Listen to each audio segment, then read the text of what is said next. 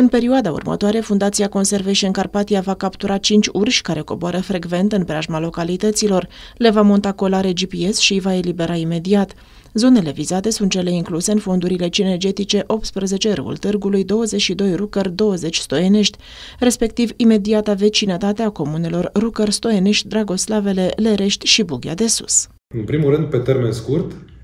faptul că acești urși vor fi dotați cu colare GPS, uh, oricând un astfel de urs se întoarce și se apropie din nou de, de localități, Uh, rangerii vor fi anunțați prin mesaje SMS, mail și așa mai departe și vor putea ști exact că ursul X urmează să vină în punctul cu tare și este mult mai ușor să previi și să te duci direct acolo când știi că ursul va veni. Sigur că în cazul acestor atacuri, inclusiv asupra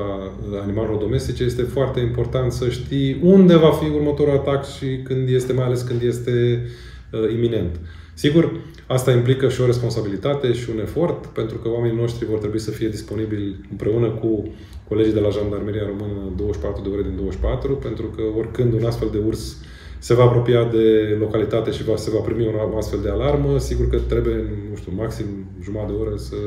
fim acolo să încercăm să intervenim. Este și un soft care ne ajută pe care l-au aceste colare GPS, în care practic este implementat un așa zis gard virtual, care sunt desenate granițele, uh, mă rog, limitrofe localităților și în momentul în care un urs intră, se apropie de o astfel de zonă, cum spuneam, colegii vor primi un, o alertă, un semnal și vor ști exact ce urs și unde, unde încearcă acesta să pătrundă în uh, comunitate. Montarea colarelor GPS ajută la studierea comportamentului urșilor. Pe termen lung uh, este la fel de important, poate chiar mai important, pentru că, practic, studiem, ne ajută să identificăm și să documentăm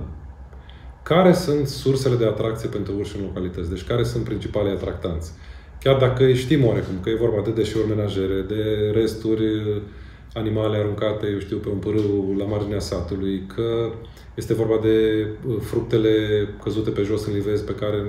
nu le mai culege nimeni în anumite situații și așa mai departe. Dar faptul că vom putea documenta exact care sunt sursele de atracție, în primul, primul pas, după care vom merge acolo și sperăm, în colaborare cu uh, autoritățile locale și cu fermierii, să eliminăm aceste surse de atracție. După aceea putem la fel documenta, să vedem, domnule, dacă în locul ăsta se colectează la timp deșeurile, nu mai sunt resturi animale, s-a cules livada. Probabil că ursul nu va mai reveni pentru că nu are de ce. Dar toate lucrurile acestea trebuie să facă parte din acest studiu, din acest material, pentru ca el să poată fi folosit, dacă avem noroc și suntem și vom fi capabili să ducem la bun sfârșit, să folosească și ca un ghid de bună, bună practice, nu numai pentru zona noastră, ci și pentru o zonă, o zonă mult mai largă, unde, desigur, în multe alte comunități sunt atacuri de urși. Colarele nu sunt dăunătoare animalelor, acestea vor fi purtate maxim un an, apoi vor fi recuperate. Uh, colarele fiind, uh, sigur, concepute într-un mod în care sunt uh, prietenoase cu animalele, există o setare automată și într-un an de zile de la data montării, colarele cad automat.